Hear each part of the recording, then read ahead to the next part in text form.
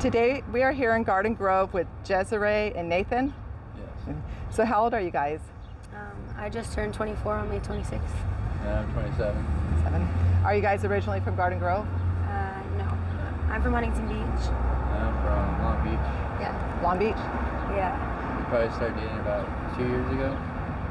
And I started seeing her in Huntington. Yeah. Well, we we come here. Um, we, we've been here about about a couple months. Yeah. We'll, we'll come here and we'll stay here for like a few months a year. Um, yeah. yeah. This is probably our second time staying out in Garden Grove. It, we don't get messed with by cops more, as much here, so that's kind of like what keeps us here longer. That's good. yeah. And what's your current living situation?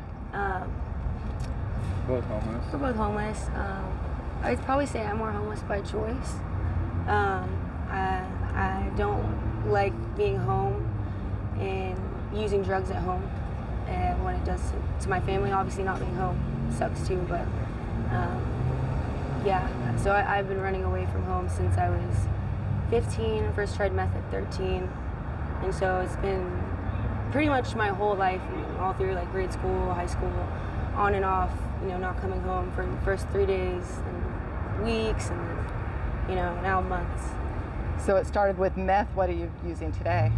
Um, I, I use fentanyl too now, and I was a basically I went to college after high school. Um, it was kind of like my my safe haven, my my rehab. It was a Bible college in Colorado, and then COVID hit and I lost my job. Um, they laid off like six or seven or eight people, and I couldn't afford school anymore. And so my mom, she she had moved with me, and so um, she told me like we're gonna have to go back to California, and then. Uh, that's when I got hooked on fentanyl. And every time I would visit in college, visit uh, Huntington Beach or Orange County in general, I'd always relapse on drugs. So uh, it was like my you know, my dark place. I've never stayed sober here. Yeah. So it's the environment. Yeah. I mean, I can't blame it on the environment, but but yeah, it's not a good environment for me personally. Yeah. Did you graduate from high school, Nathan? I did. I graduated from Paramount High School. Uh, that's 2013. And I was doing good for a while until I was like 21, and then the habit pretty much took over, and I lost my job. And from right about then, I've been moving job to job, and then pretty much just kept getting worse. And until like here now. Yeah. Yeah, we were staying in my car um, for like the very beginning of our relationship, living in my car, staying at like Home Depot parking lots, Walmart parking lots. Um, She was and getting EDD, and I was working part time making playhouses. So Yeah. we probably get motel like half the week. but things just kind of escalate and get worse, progressively worse. Usually, when you're on the streets, it's it's not like you you build up and now you have a house, and, you know, Must be dangerous out here. it, yeah.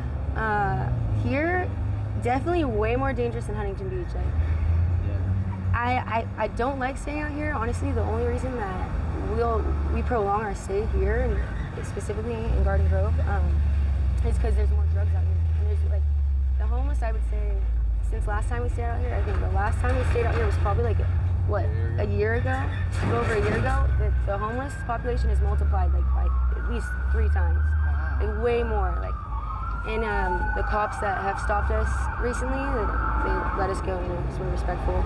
They, they've told us that you know they're they're um, they're told that they have to start like initiating every single rule, and they're trying to push everybody out. Um, we got lucky. They've always you know never searched us or anything. Just, you know, we just talk with them and, and ask them questions, and and so they said it's probably a good idea if we go back to Huntington Beach. Yeah. What's the most dangerous thing that you've seen out here?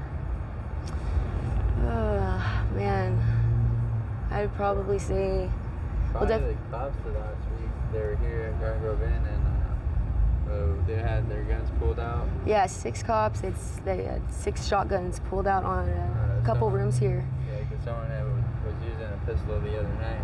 Yeah, pulled it out on somebody, and um, there's rumors that someone got murdered. Yeah, but I don't I don't think anyone actually died. But yeah, and there's a lot of robberies, and um, And a, a lot of, uh, I noticed for me, like, I'm always with him when I'm around here because I get stopped, if I'm by myself for just like 10 minutes, I get stopped by at least five or six people trying to get me in their car. Like, and, and you know, like, I don't know if I'm gonna get sex trafficked or going there. I never go in. I just, you know, but that's also scary because that doesn't really happen to me much where I'm from, you know, Huntington Beach. So, so yeah, we make sure we stick together.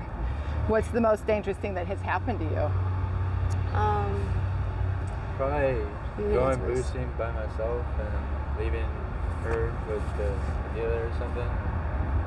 They pretty much want me to be left alone with her so they can have some presents to like she'll do sex for money and shit. Of course she always says no and then they get upset and then me boosting all this stuff goes to waste and they don't want it no more and like They stole everything we have. Uh, yeah, literally stole everything we have. well, since we've been here, we've been here what two months now, um, and Yeah. everything that we've ever owned got stolen from us at least what like, Two, three times. which is of course not much, but you know to us it's like It's hard to keep restarting. You don't Yeah. have a blanket at night and stuff. That stuff's important.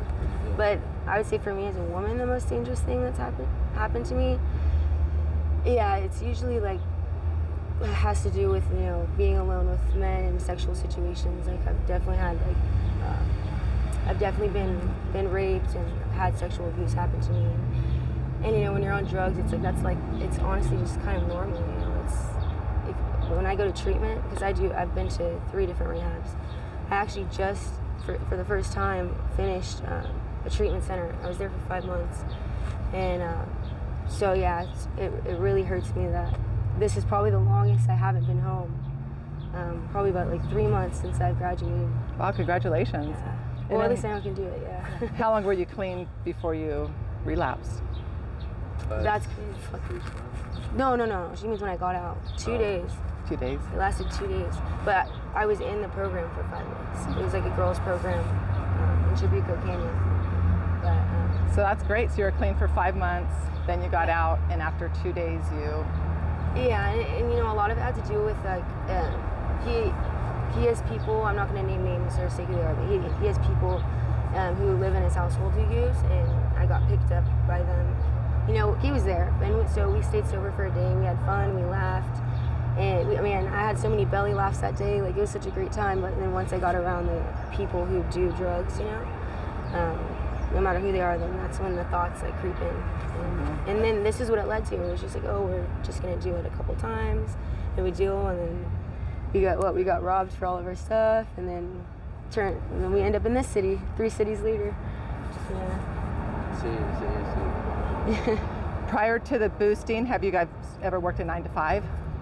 Um, yeah. I've worked two jobs in in retail, um, but both of them I just stopped showing up. Um, something would happen. I wasn't dating him at my first job, which I think was at Ross in Fountain Valley.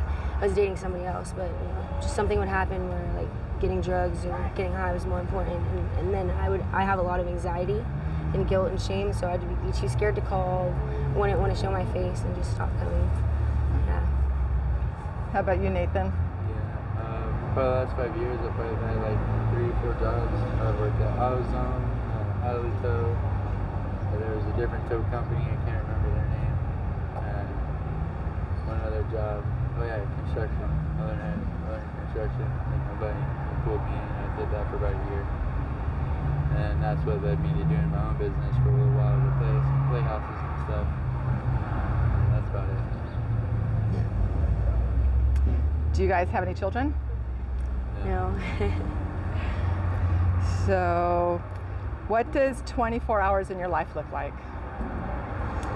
Um, I mean, when, when they say when they say it's a vicious cycle, it's true. Pretty much the same thing. So, yeah, we said we boost. We said we panhandle sometimes or whatever. We don't really like panhandling. It's not really our thing. It seems to be a popular thing around here. But um, so basically, yeah, we wake up, and if we don't have you know drugs are what we need, especially with the physical dependency that fentanyl has, which is total different game.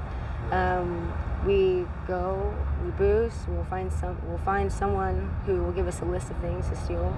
We'll put ourselves out there, hope it goes well. Which it, I mean, Half the time. yeah, half the time it does. And um, then we get what we need or dope, we, we'll, we'll probably get robbed. We get robbed a lot here. I will say like a lot here. We'll get like sold fake stuff, or someone will try to like manipulate us to turn against each other, you know, so that they can have their way with whatever. So you know, it's just constant stress, and you know, I don't know if I'm allowed to cuss, but BS. but um, the drugs numb that, you know. So. And Nathan, what happened to your nose? uh, I, I got a sunburn and then I didn't leave it alone. I was picking up it and then it got infected and now it's finally barely starting. Yeah, it was- cleaning every day. It was peeling pretty bad, and he never picks, but he wanted to. He doesn't like stuff on his face. Dead skin was grossing him out. Yeah, I just kept covering with a sponge and stuff and it kept getting agitated. But here they don't have. I noticed like, you know, in Huntington Beach, like we pretty much like I've never been this dirty. Like, well, like usually like we shower at least not every day, like you know every couple days, like when we're in Huntington where we usually are. But here they don't have. They don't really provide like close places or you know to shower and like maybe there's a church somewhere I haven't heard of tried asking around but you know a lot of these people are dirty so we're we're sleeping dirty and staying dirty pretty much the whole time like I don't think we've showered in like it's been a while like yeah yeah so um, they should probably try to provide people who are homeless here with showers Yeah. and then lastly, after being homeless for the last couple years, what's the most important lesson that you've learned? mm. it's a hard one Pro- probably to uh, get clean eventually.